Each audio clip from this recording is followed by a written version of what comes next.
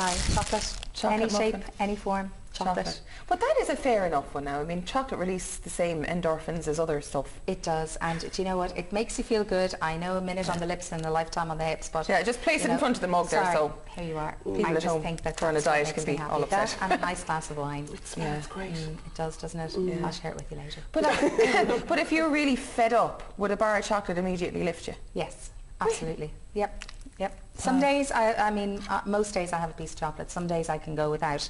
But if you're really in bad form or you're feeling hard done by, I always have chocolate buried at the bottom of the fridge where nobody knows. There are some because otherwise one of the kids or Derry or somebody will relieve me of it and when I go looking for it, it's gone.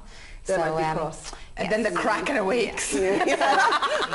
so then I have my little piece of chocolate. Yeah. Yes, But I have to say, I was in a bit of a foul mood yesterday and my brother texted me a photograph of my nephew Joey and haven't seen him for ages, but look at him. He's a joke. And I have to say, I was just, oh my God, I just want to eat them all up. So that's what made me happy yesterday.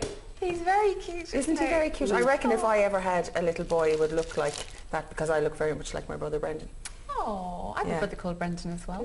There you go. So that's what made me happy. Little Joey, little chubby little cheeks and these massive hands. He's absolutely gorgeous. So let us know what makes you happy. Text us in all your happy stories, MD us, followed by your story to 53131. Now take the news. Here is Siobhan. After the break, we're talking trophy wives and what makes Trina McCarthy happy. Don't miss it. Stay with us. See you in three.